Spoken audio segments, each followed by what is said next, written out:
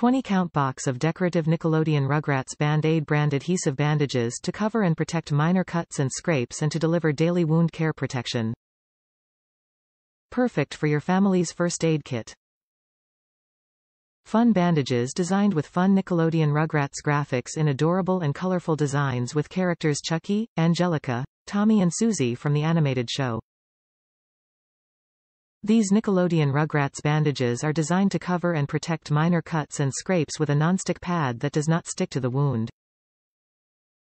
These Band-Aid brand adhesive bandages come in box with an assortment of sizes and fun character design.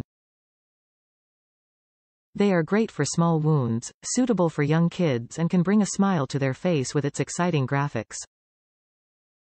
Individually wrapped sterile bandages protect sensitive and minor wounds from coming into contact with germs and dirt for first aid and wound care. For best results, apply to clean, dry skin. Change daily, when wet, or more often if needed. Top reviews from the United States. Two different sizes geared more for small cuts and scrapes. These band-aids feature characters from the TV show Rugrats. You don't necessarily have to be a kid to get use out of them. They are cute and colorful and much more interesting to look at than a plain band-aid. I have one on right now to protect a small cut on my pinky finger. It holds up just as well as a regular band-aid.